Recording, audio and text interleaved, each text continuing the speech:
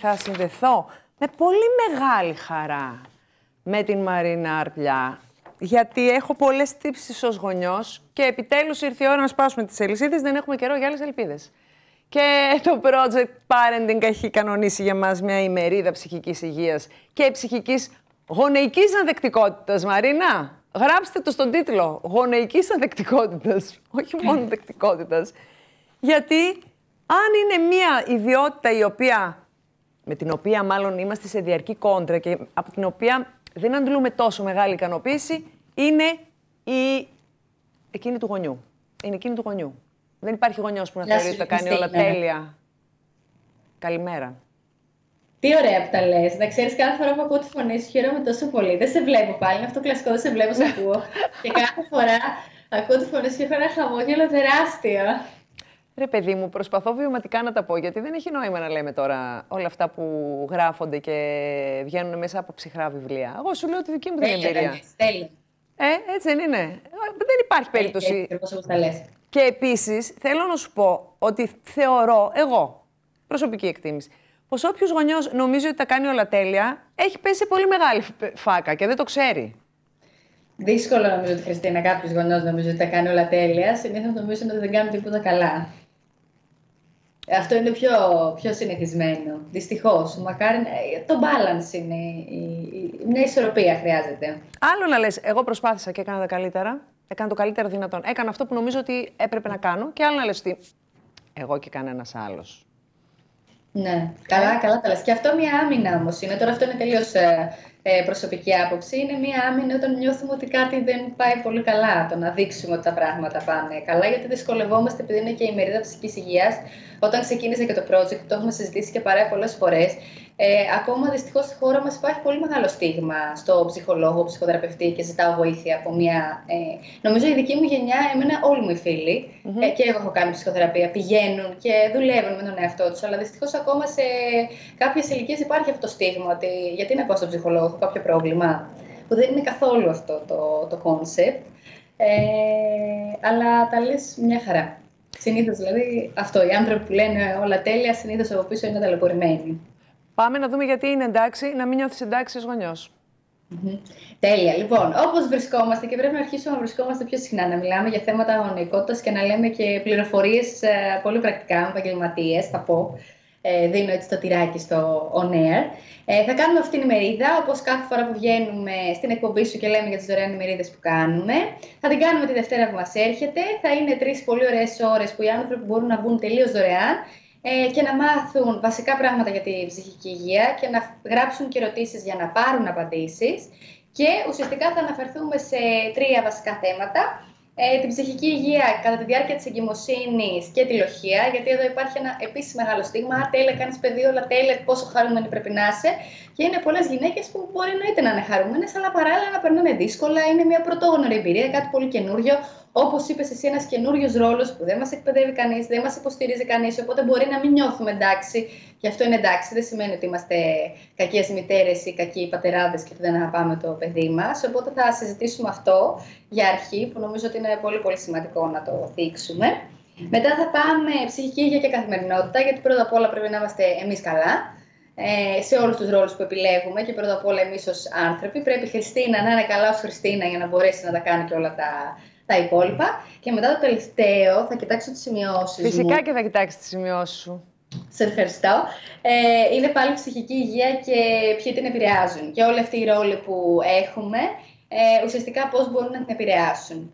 Με, ε, χίλιου τρόπους. Με χίλιους δύο ναι. τρόπους. Δεν είναι αυτό το θέμα. Δηλαδή, δεν, δεν ε, πρέπει να ανησυχεί κάποιος ο οποίος αισθάνεται ότι δεν είναι όλη του η ζωή αφιερωμένη στο παιδί του; Αλλά έχει και αυτό σε ένα κομμάτι.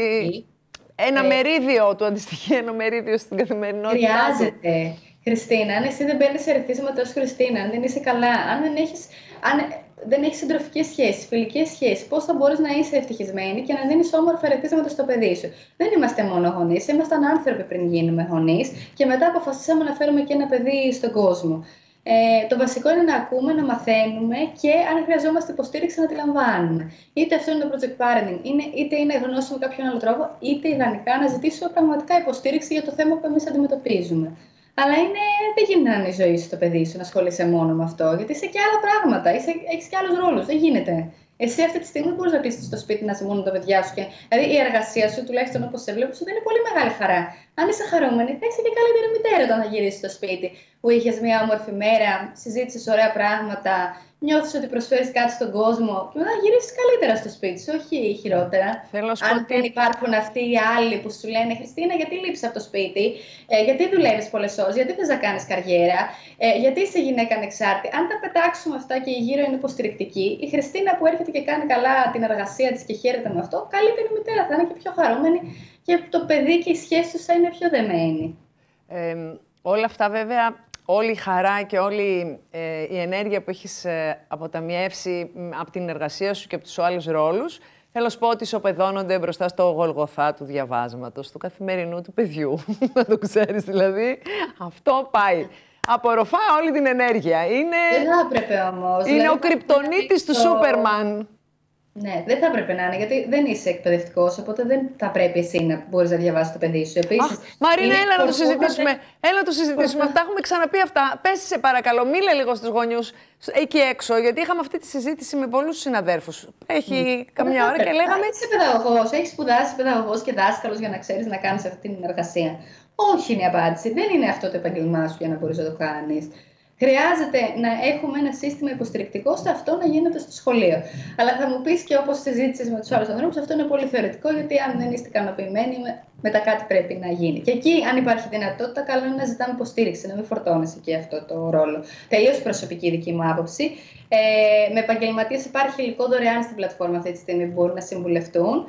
Ε, και έτσι είχε πει και πολύ ωραία η Φιλιό η Κατσαρού που είναι και από τη Θεσσαλονίκη και είναι επαγγελματίας. Και έλεγε αυτό δεν είναι ο ρόλος. Η Φιλιό. Δεν είναι ο ρόλος να είσαι δάσκαλος και δεν πρέπει να νιώθεις ε, ματαιότητα αν ουσιαστικά δεν ξέρεις πώς να εξηγήσεις το παιδί στην προπαίδεια. Γιατί δεν σε έχει μάθει κάποιος να το κάνει αυτό.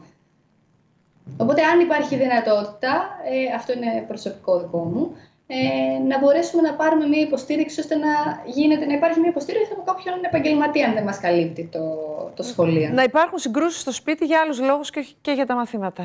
Θα υπάρξουν που θα υπάρξουν. Ε. ε, μην υπάρχουν και για τα μαθήματα δηλαδή. Να μην γίνει ακόμα ένα, ε, ε, ακόμα ένα αγκάθι στις σχέσεις γονιού-παιδιού. Ναι, και να μην νιώθεις τη ματέωση για κάτι το οποίο δεν είσαι υποχρεωμένος ως γονιός να το γνωρίζεις και να μπορείς να το κάνεις. Ναι. Δηλαδή, όταν προσθέτουμε ρόλους που δεν έχουμε εκπαιδευτεί να τους κάνουμε, που είναι επάγγελμα. Ο παιδαγωγός, ο παιδαγωγός όπως σπουδάζει, είναι επάγγελμα. Τέσσερα χρόνια σπούδαζε για να μπορώ να κάνω αυτή την εργασία. Δεν το έκανα ποτέ, αλλά σπούδαζα τέσσερα χρόνια. Εσύ που δεν έχεις σπουδάσει τίποτα σε σχέση με αυτό, γιατί να μπορείς να διδάξεις ε, πώς να μάθει ένα παιδί αφαίρεση και πρόσθεση. Επίσης, να... δεν είναι και πράγματα μόνο... που δεν έχεις ξεχάσει, δεν σε αφορούν πια. Ε, γιατί να πρέπει να τα θυμηθείς αυτά για να μπορέσεις να τα διδάξεις εσύ; Δεν είναι μόνο το ακαδημαϊκό κομμάτι επίσης, γιατί στις σχολές δεν σου διδάσκουν μόνο το, τις γνώσεις που θα μεταλαμπαδεύσεις, αλλά και τον τρόπο που θα το κάνεις. Πάρα με παιδαγωγικές μεθόδους. Δηλαδή και να ξέρεις την προπαίδεια εσύ αν δεν έχεις τον τρόπο για να την δώσει να το καταλάβει το παιδί, ε, δωροάδωρο που, που την ξέρεις την προπαίδεια. Άρα δεν είναι απλά τα πράγματα. Ε, Α απευθυνθούμε σε έναν ειδικό. Ο ειδικός είναι ο δάσκαλος στη συγκεκριμένη περίπτωση. Ναι, ακριβώς. Και αυτό που θα κάνουμε σίγουρα τη Δευτέρα είναι να δούμε πώς μπορούμε να αλληλοφροντιστούμε και να φροντίσουμε το, το δικό μας εσωτερικό παιδί και το δικό μας εαυτό. Γιατί όλα από εκεί ξεκινάνε. Αυτή είναι η δική μου πίστη και γι' αυτό ξεκίνησε το project. Ότι όλα ξεκινάνε από το να είμαστε εμείς καλά και για μας το βασικό είναι οι γονείς να είναι φροντισμένοι. Και ό,τι μπορούμε να κάνουμε σαν οντότητες σε αυτόν τον κόσμο μας είναι υποστηρικτικός προς τους ανθρώπους μας, γιατί εν τέλει όλοι παρόμοια πράγματα περνάμε. Οπότε, αν μπορούμε αντί να είμαστε επικριτικοί, κάπως να ανακουφίσουμε κάποιον άνθρωπο, ή αν δεν μπορούμε να τον ανακουφίσουμε, τουλάχιστον να μην είμαστε επικριτικοί και να μην του γινόμαστε βάρος. Ε, οπότε, τη Δευτέρα θα δούμε πώς μπορούμε να φροντιστούμε. Mm-hmm ε, και πώς μπορούμε να φροντίσουμε άλλους και πώς να στεκόμαστε και πώς πράγματα που μπορεί να, ε, να πέρασε κάποιος μια εγκυμοσύνη, να ήταν όλα υπέροχα, να ήρθε το παιδί και όλα να ήταν υπέροχα. Αυτό δεν σημαίνει ότι είναι έτσι για όλους. Κάποια γυναίκα μπορεί να ζορίζεται και αυτό είναι πολύ εντάξει, δεν σημαίνει ότι είναι κακιά μητέρα.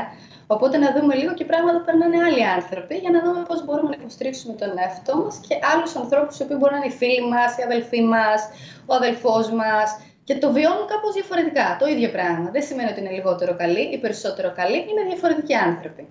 Κατανοητό. Σε ευχαριστώ πολύ, Μαρίνα.